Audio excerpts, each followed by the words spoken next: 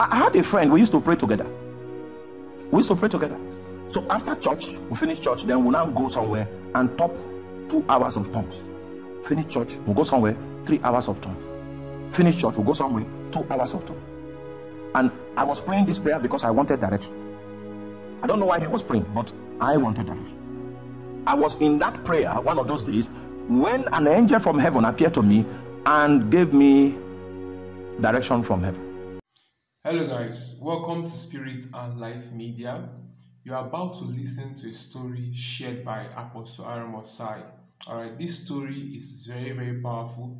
At the end of this video, one of the things I can guarantee you is you are going to probably start asking God for direction. All right, you might be at the point in your life where nothing is working and everything seems to be stagnant. I can assure you this video is going to address that. So I want you to like this video, subscribe to our channel and stay to the end. You have a whole lot of lessons in store for you from this video. All right, so let's dive into the video right now. If there's a loose end and demons hold sway in your life, in any aspect of your life, it's a proof of the fact that there are aspects of your life that are not completely surrendered to the authority of Jesus. And that's why demons have been able to find a platform of oppression in your space.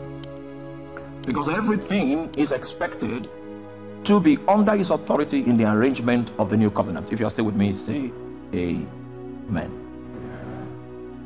Like I said, one of the benefits of the headship is that we are not responsible for the consequences of actions that we carry out under the influence and the promptings of the Spirit of God.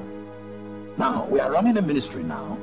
If by any means we are led by God to set up a crusade at the international market and witches come against us, the person that has the responsibility to discomfit the authority of the witches is the one that sent us. So every Christian is supposed to be operating from a covered position. Christ being our head and his administration being our life source. In fact, when Satan now came to collect Moses' body, they had sent Michael from heaven to come collect the same body. And the reason why God was interested in hiding Moses' body was because Moses was a manifestation. Moses was submitted so absolutely to the will of God. It was only a few times that Moses did his own will. And one of those times was the reason why he was disqualified from entering into the promised land. But Moses was sold out to manifesting the will of God. That if Moses does something, Israel would think it's God that did it because of his yieldedness. So when Moses decided to do something and it was not God that led him to do it, God had to judge Moses because he wanted the children of Israel to know that it was not him that was responsible for that action. That was how sublime Moses was in the hands of God. Are you with me? So if Satan had possessed Moses' body and had come out, just like because God used to use him to give directives to the children of Israel, and had come out in that body, and he said, All of you, fornication now is approved.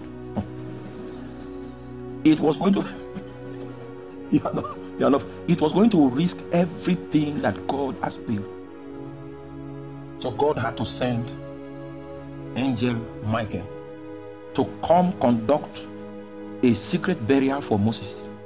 Moses was that man that angels had to steal his body. But unfortunately for Michael, before he could access the body, Lucifer was already present at the location. And you know, are you there? You're there. Okay. So Lucifer was an authority. In terms of ranking, he was a valid authority, and his new station the legitimacy he had acquired from the authority that he usurped gave him rights to the earth. You know, Adam's authority was aquatic, was terrestrial, and atmospheric. I've, I've showed you before. And that's why we have, there's an aspect of demonic activity that operates from the water. Oh, you know, yeah. Because you did not respond, we will cut it.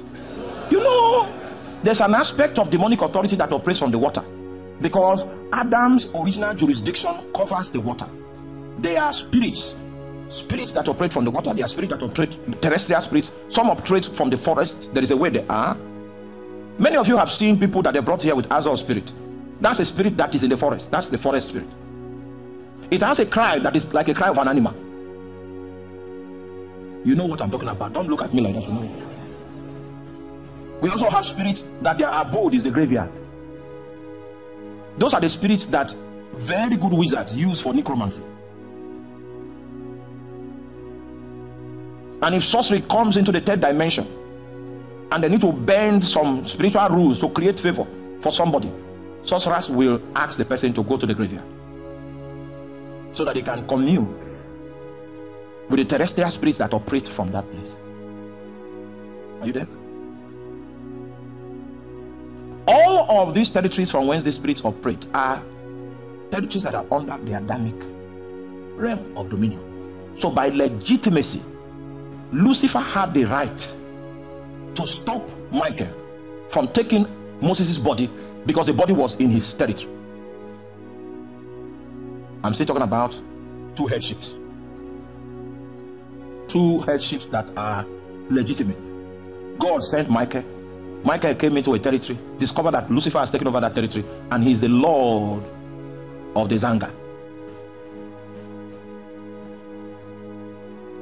According to rank, Lucifer was higher than him in rank, even as an angel, and even much higher because he's using Adamic power. So, according to rank, he was no match. So, what did he do? In order for him to win the day, he invoked the authority of the headship under which he was dispatched to come retrieve the body. How did he do it? He said, The law. I had a friend, we used to pray together. We used to pray together. So after church, we finish church, then we'll now go somewhere and top two hours of tongues. Finish church, we'll go somewhere, three hours of tongues. Finish church, we'll go somewhere, two hours of tongues. And I was praying this prayer because I wanted direction. I don't know why he was praying, but I wanted direction. I was in that prayer one of those days when an angel from heaven appeared to me and gave me direction from heaven. So I now told him that my own prayer has ended because I have direction. He also ended his prayer without direction. It was 10 years later that I actually discovered he did not get anything. Oh my God. May you get direction from God in the name of Jesus Christ. The direction that came for me was that I was not going into full time ministry yet, that God was going to make available for me a job.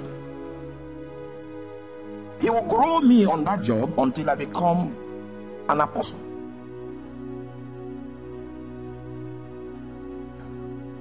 Meanwhile, a lot of my friends went straight into full time ministry without direction. So the path I took, getting a job, looked like a waste of time. But that waste of time was with direction. 20 years later, when we came back, the man that wasted time was a man that was in time. The one that was hurrying, he realized after 20 years that he had no direction. And you know, it's humbling because you are not likely to go back after 20 years to seek direction. Your pride will not allow you. You feel that, ah, I, I'm, I'm, I'm, I, I've been around. hey, go back and seek direction. It took me one year, but the insight that I got after one year is what has powered my life to this point. The Bible says that by him does everything consist. The meaning of your life is not in your life. The meaning of your life is in him. Wisdom demands that you need to consult him to find out what the meaning of your life is about. Because the design in the eternal purpose that God set in motion before the foundations of the earth is that he should be preeminent. Everybody will seek him, will consult him, everyone will wait on him. That's how it was designed. If you have another wisdom that is better than the wisdom of God, we will see it in your life.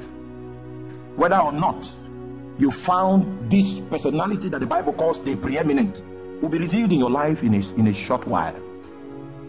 I hope you know Angel Michael is the angel that is a war angel. In fact, the name Michael means strength a few people in the chronicles of a few prophets, Angel Michael has appeared to a few prophets before, and I've read their chronicles. One of those prophets that Michael appeared to was Apostle Joseph Ayo Babalola of CAC. And he said when he saw Michael, Michael did not put his feet on the ground because he was carrying so much energy.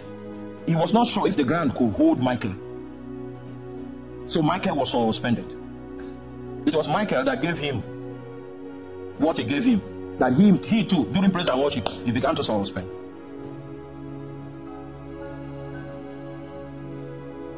you stay with me? He, didn't, he didn't put his foot on the ground. Michael, if you don't need a dictionary to know what strength is, the moment you see Michael, you know this is strength. This, this is strength. This is the metaphor called strength. So, in terms of warfare, he's designed as a warring prince. You will notice that Angel Gabriel was put in the prison that was built by angelic princes. Huh? Because Gabriel is not a warrior type angel.